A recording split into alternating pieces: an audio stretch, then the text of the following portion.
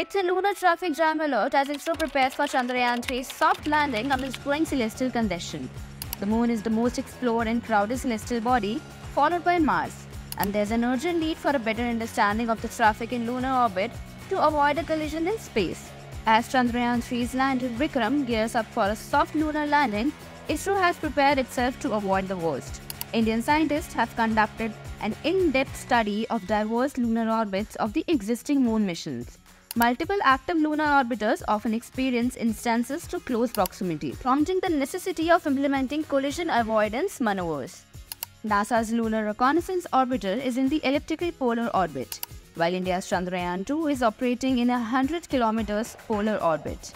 As in the Korean Pathfinder lunar orbiter, NASA's CAPSTONE mission is in another rectilinear orbit around the moon, while two of NASA's Themis position probes now under Artemis are in the eccentric orbits. Adding to the list are going to be Russia's Luna 25 mission launching this month, and Japan's SLIM is slated for launch on August 26. It only takes a few days to send most spacecrafts to the moon, so it's not surprising that humans have sent their missions there than anywhere else. Humans successfully landed on the moon with the Soviet Luna 9 spacecraft in 1966, while American astronaut Neil Armstrong became the first man on the moon with the Apollo 11 mission in 1969. Since then, our fascination with the moon has only gotten stronger. Countries including the US, China, India, Japan, and Russia have sent multiple probes to the lunar surface. And days of a permanent human presence are not far away with the Artemis Accord set for launch. So what's next for Chandrayaan 3 on the moon?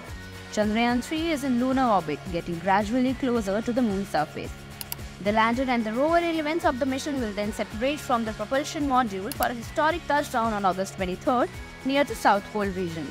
The propulsion module of Chandrayaan 3 will stay in orbit, remaining in communication with the rover and the lander.